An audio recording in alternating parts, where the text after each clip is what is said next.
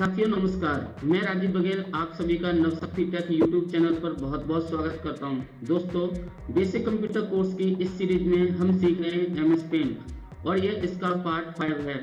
इस पार्ट के अंतर्गत आज हम डिस्कस करेंगे क्रॉप टूल के बारे में रिसाइज टूल के बारे में, और रोटेट टूल के बारे में। तीनों ही टूल काफ़ी इंपॉर्टेंट टूल हैं।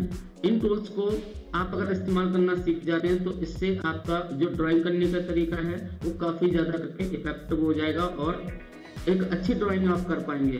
तो टाइम वेस्ट ना करते हुए चलते हैं कंप्यूटर स्क्रीन पर और सीखते हैं। दोस्तों, सबसे पहले हम कीबोर्ड से विंडो के साथ आर बटन दबाएँगे और यहाँ पर एम एस पेंट पहले से लिखा हुआ है। नहीं, आपको यहाँ पर एम एस पेंट लिखना है और जस्ट ओके करना है। तो ये एम एस पेंट का इंटरफेस ओपन होकर के आता है। इस इंटरफेस पर अगर आप यहाँ पर देखेंगे इमेज ग्रुप के अंदर क्रॉप रिसाइज और रोटेट तो हमारे पास इन टूल्स को प्रैक्टिस करना है या इन टूल्स के बारे में ज़्यादा जानकारी चाहिए तो हमें एक पिक्चर की ज़रूरत होगी। जैसे हम फ़ाइल मेन्यू पर क्लिक करके ओपन में जा करके और इसमें हम कोई पिक्चर ओपन लेते हैं और इस तरीके से हमारी ये पिक्चर ओपन होके आ जाती है।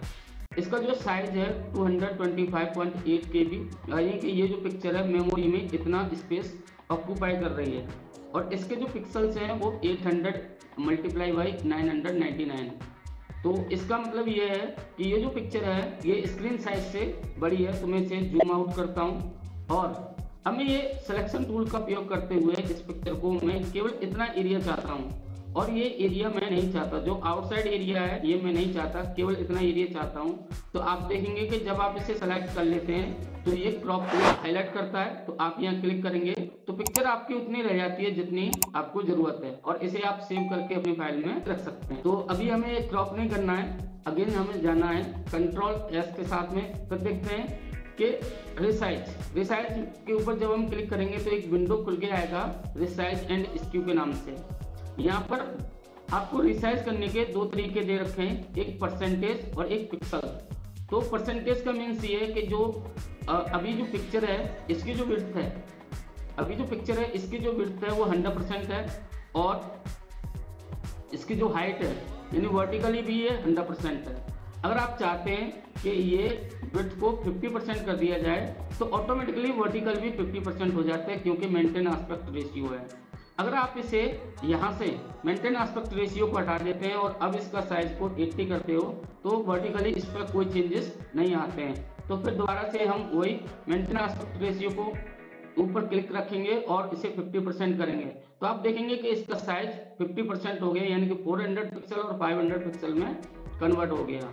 कंट्रोल जेड करते हुए फिर पिक्चर के पर हम आते हैं और रिसाइज पर पहुँचते हैं। यहाँ पर अब हम इसे पिक्सल के हिसाब से रिसाइज करेंगे। तो अभी जो पिक्सल है, वो 100 परसेंट एट हंड्रेड पिक्सल्स हैं हॉरिजॉन्टल और वर्टिकल हैं, आपके 999 यहाँ पर मैं इसे टिक को हटाता हूँ और यहाँ पर मैं चाहता हूँ कि हॉरिजॉन्टली इसका जो पिक्सल है, वो 400 500 रहे और और इसका जो वर्टिकल है, वो 600 रहे।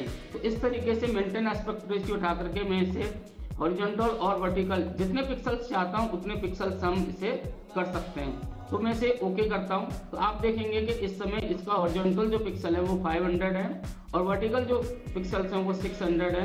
अब मैं इसे सेव करता हूँ। तो आप देखेंगे कि मेमोरी में जो ये स्पेस ऑक्यूपाई करेगी पिक्चर अब ये 100 1.1 के बी का स्पेस ऑक्यूपाई करेगी। तो ये हमें यहाँ से इस तरीके से हम इस पिक्चर को रिसाइज कर सकते हैं। अब इसके नीचे दे रखा है स्क्यू। स्क्यू मीन्स डिग्री यानी झुकाव। अगर आप इसे हॉरिजॉन्टली आप इसे थर्टी डिग्री या फोर्टी फाइव डिग्री या फोर्टी डिग्री जितना भी आप चाहते हो और उसे झुकाना चाहते हो हॉरिजॉन्टली तो आप इस तरीके से इस पिक्चर को झुका सकते हो। एज इट इज़ अगर आप इसे वर्टिकल झुकाना चाहते हो तो आप इसे, मान लीजिए 45 डिग्री आप वर्टिकली आपको इसे स्क्यू कराना है तो वो वर्टिकली भी 45 डिग्री स्क्यू हो जाएगी। कंट्रोल जेड करके फिर हम दोबारा से सेम पोजीशन पर आते हैं। तो इस तरीके से आपने देखा कि पिक्चर को आप रिसाइज और स्क्यू कर सकते हैं। अब हम आते हैं रोटेट पर। रोटेट पर देखते हैं कि rotate right 90 degree rotate left 90 degree और रोटेट 180 अगर आप इसे राइट साइड रोटेट कराना चाहते हैं तो ये 90 परसेंट नाइन्टी डिग्री आपका रोटेट हो जाएगा। अगर आप पुनः इसे लेफ़्ट 90 डिग्री करते हो तो सेम पोजीशन पे आ जाएगा और अगेन आप लेफ़्ट रोटेट कराते हो 90 डिग्री तो पिक्चर इस तरीके से रोटेट हो जाएगी।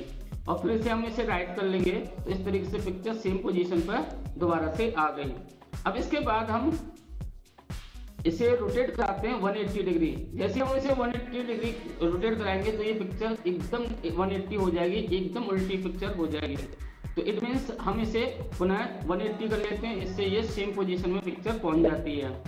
नेक्स्ट है आपका फ्लिप वर्टिकल और फ्लिप हॉरिजॉन्टल तो इसे समझते हैं, मैं कैनवास का साइज़ बढ़ाता हूँ और इस पिक्चर की जो पोजिशन है, इसी को मैं सेलेक्ट करके पूरी पिक्चर को इसे मूव कर देता हूँ, इस साइड और इसकी एक कॉपी कर लेता हूँ। कॉपी करूँगा पेस्ट आपका हाईलाइट कर जाएगा। जैसे मैं इसे पेस्ट करूँगा पिक्चर मेरी इस तरीके से आ जाएगी। इसे मैं थोड़ा टच करके रखता हूँ। अभी आप देख रहे हो कि पिक्चर की सेम कॉपी बन करके यहाँ पे आ गई है। अब इसे मैं रोटेट कराता हूँ वर्टिकल सॉरी हॉरिजॉन्टल तो आप ये देखेंगे कि पिक्चर हॉरिजॉन्टल रोटेट हो गई।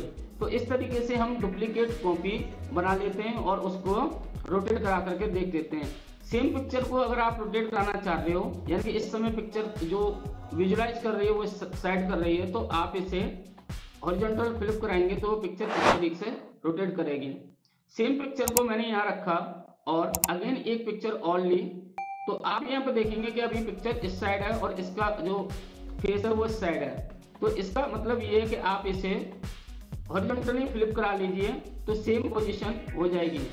अब इसे आप वन अब इसे आप वर्टिकली फ्लिप कराते तो आप देखते हो कि इसका एक प्रतिबिंब जो है डाउन साइड बन जाता है यानी बॉटम साइड आपको देखने को मिलता है। तो आप देखेंगे इस साइड ये देख रही है पिक्चर सेम पोजीशन में देख रही है। तो इस तरीके से हम रोटेट करते हैं और उन्हें फ्लिप कराते हैं। तो, तो आपने देखा कि क्रॉप टूल रिसाइज टूल और रोटेट टूल किस तरीके से काम करते हैं। आशा है कि आपको ये हमारा वीडियो पसंद आया होगा। अगर आपको हमारा ये वीडियो पसंद आया है तो हमारे वीडियो को लाइक करिए शेयर करिए और हमारे चैनल को सब्सक्राइब करना ना भूलिए। धन्यवाद।